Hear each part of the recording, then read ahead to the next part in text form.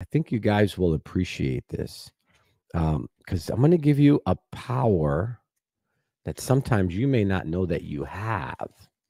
There's a statement here in Psalms chapter 2 the world, why are they angry? You know, with everything that's going on today, politics and government and finances and business and family, education, you know, that's like there's this whole uproar.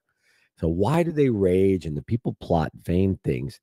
Says the kings of the earth take their stand and the rulers take counsel together and against his anointed.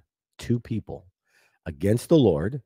They they do this. They they they take prayer out of school try to limit the church. You think about everything that took place during the shutdowns you know and the challenges that many churches went through the plotting. There's a plot to shut down the church of jesus christ some people don't think that to be true but it's true and we praise the lord for the for the leadership that we have in our government in the United States of America. We put leaders in place that will protect our liberties.